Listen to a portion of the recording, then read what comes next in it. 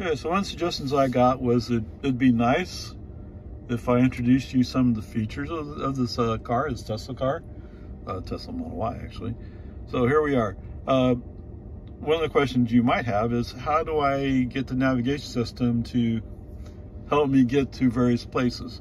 Now navigation will track, uh, direct you on which roads to take.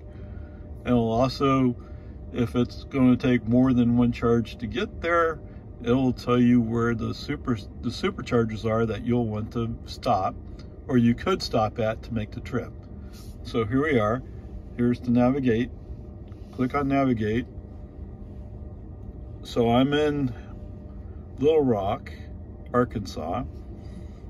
And so I'm I'm hoping that I, I end today's uh, today's trip in Knoxville, Tennessee. So here's Knoxville, Tennessee. It'll be 487 miles. So there we go. So the recommendations are uh, uh, Brinkley, Jackson, Tennessee, and Nashville, Tennessee, Charlotte Pike as the charging stops. And that will direct me on, on how to get there. So there you go.